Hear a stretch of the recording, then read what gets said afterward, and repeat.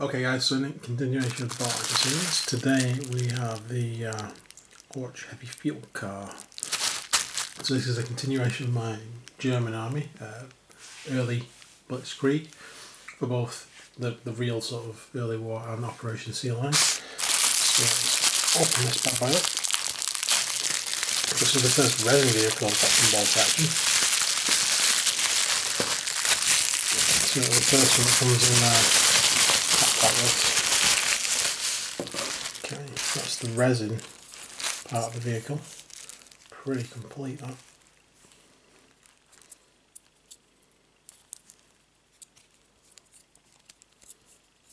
It's a nice resin actually. It's not soft, it's quite hard resin. If you've not seen this resin before, it's the first time I've seen the bolt action resin. There's a bit that is coming off.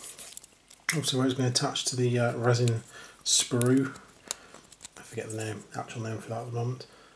But uh, there we go. Need a little bit of tying up along the bumper. Uh, a little bit there, just comes off. There's a few little bits there that are going to need filing down. But most of that is very nice, very nice finish on it. Just around the edges have metal components.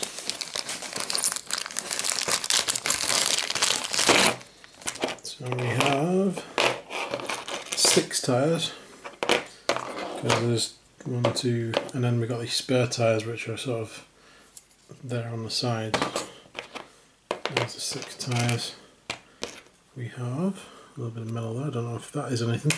I'll have to double check that. And we have the lights and the tow cable, tow hook. Right, so this should be pretty straightforward. We'll tidy that up, we'll get these off, we'll tidy them up. And then what we'll do, we'll just stick the wheels on. I think they're all the same. Yep, they're the same. Uh,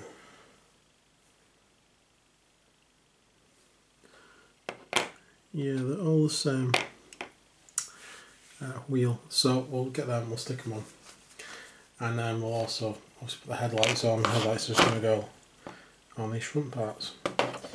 Right, so we're back and front. Okay guys, so we've cleaned up the resin, pretty straightforward.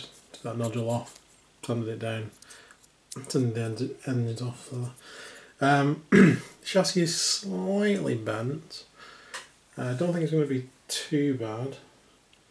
It literally is the tiniest bit out of shape and I just noticed it when I was really staring at it. Um, not really going to be a problem. This bit, yeah, that is a part, that is the uh, license plate. And that bit fits on the front there, like so. We have our two lights, there and there. We have what I assume is a, as a fuel cap, which goes there. I'm assuming that, I'm not sure on that, it definitely goes there. Um, and then we have the hook for the tow bar, which goes on the back, just there. Because that bit there is the number plate next to my thumb. Okay, so where the wheels are concerned, bit of an issue. Um, we have three good wheels and three uh, uh, not very well cast wheels. You can tell the difference probably on the camera straight away. Uh, those are the right way around, see?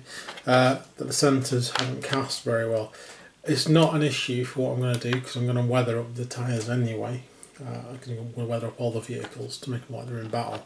So I'm just going to take two of the good tyres, put in the centre pieces. And I'll probably put that one on one side and then the others just with the two bad ones at the back. Uh, and then they'll be muddied up, so you probably won't see that at all. I don't think that's going to be an issue for me. Uh, but if you wanted it to look a bit more pristine, then you're going to have problems. So you either need to get in contact with Warlord and say you're not happy with the castings, or what you can do if you've got some green stuff yourself, you cast the centre of that yourself and replicate it in green stuff, stick in the middle. I've done something similar to that before, or if you weren't happy with the entire wheel for whatever reason, you can get some of that plastic um, remoldable uh, plastic you can put green stuff in and then you can remold the entire tyre and put it on. A long way to go, but that's if you, you don't want to contact warlord. It's just one of the wheels that's annoying you or whatever. So I'm not too bothered. I'm quite happy to uh, muddy these up so you won't see it anyway. Um, so yeah, so let's just stick this thing together. So obviously the, the wheels are going to go in those six slots. I said, all headlights go there. The front bar with the uh, number plate on goes there. What I'm, what I'm assuming is a fuel cap goes there, and the tow bar on the back. Stick it together, back when it's done. So here it is finished. It's a cool little car actually. There it is. There's the tow cable. I'm going to muddy up those wheels, do some well, like battle damage on some areas on that. Some rust underneath. Car's been around a bit. Done. Looking good. Right. Look forward to seeing that painted and on the battlefield. Driving around my uh, commanders or maybe even my machine gun crews.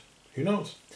Right, so join us again next time. Uh, we'll be looking at some of the Hanomags, the the half track transport type things for the early uh, war Blitzkrieg Germans. So stay tuned for that, and hopefully see you again soon. Please like and subscribe, helps out lots, and we'll see you later. Bye for now.